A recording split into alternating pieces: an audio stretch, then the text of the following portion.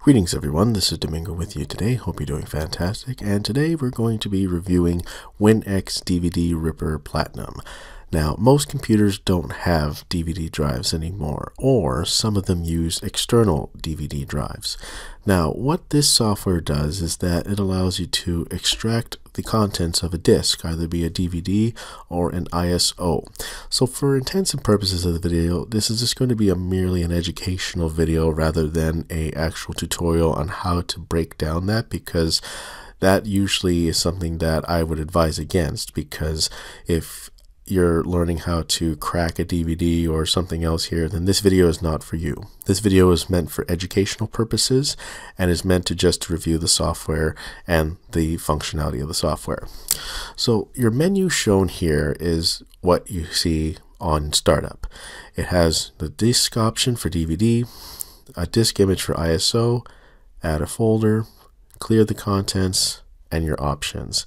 And then if you want to check for software updates, you just press here and check for software updates, which allows you to do that. And it says you're using the latest version. So the newest thing was added the iPhone 13 profiles.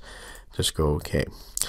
So let's say you want to get one of your files out of a disk. So basically, if you have something saved on a DVD, you would just get the disk into your disk drive and then it'll just give you the steps. So the first step is to click the DVD button to load the DVD. Now my computer doesn't have a DVD drive, so I don't even have an external drive either. So this might not be helpful to a lot of people that don't have one, but if you do have one, please keep continuing to watch.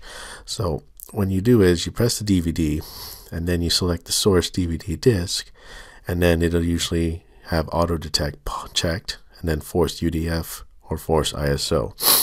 It'll then list your drive letter if you have a drive mounted, which I don't.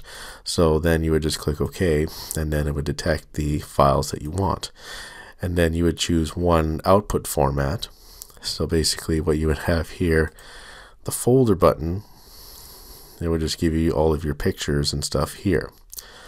So let's say you wanted to select an ISO.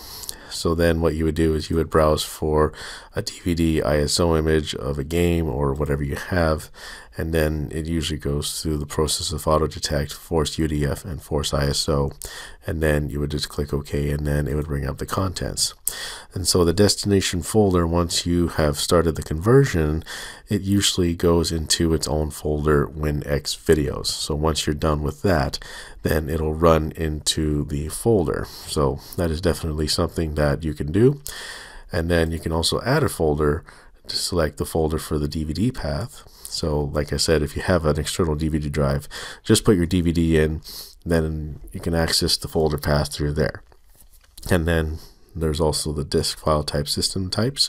And then just make sure auto detect and force ISO is checked if you want to do that. Then we go from there. And then for the options here, this is a preview window where it plays back the files. So for copyright purposes, we're not going to play back any files. So it has the play button here, the pause button here, and then I believe this is a screenshot button here. And then it gives you the option for hardware accelerator where it has Intel and NVIDIA. I have an NVIDIA chipset installed in this computer, so that's checked. And then I also have an Intel chipset, which is checked here. So if you want to look at the information, you just click on the arrow here, and then it tells you all of, or click on the eye, and it tells you all about it.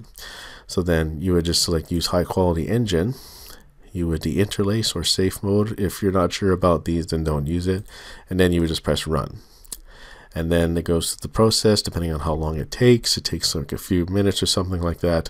Then it allows you to go through. And then there's your profile here, and there's the license. I have a license to this software. It just shows the version and the build quality. And then this is an OEM license I have. And then there's a letter. Then there is an option where you can send an email to the support if you have any questions. And then there's a questions button here, and you can switch the language to French, English, Spanish, and then that's it. And then you would also clear the queue to clear the queue here, and then you would actually go from there. So you can also download a copy of this using the link in the description below so that you can get a free license code for it. If you have a DVD drive and you want to rip stuff, then this definitely is a great software to use if you have an external DVD drive, if you still do that sort of thing.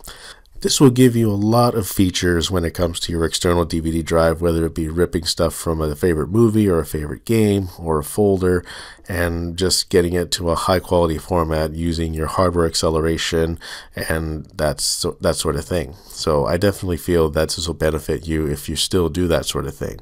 So thanks very much for watching. Have a great day, and we'll see you next time for another video. And don't forget to download in the description below for your free license copy of this software. Thank you.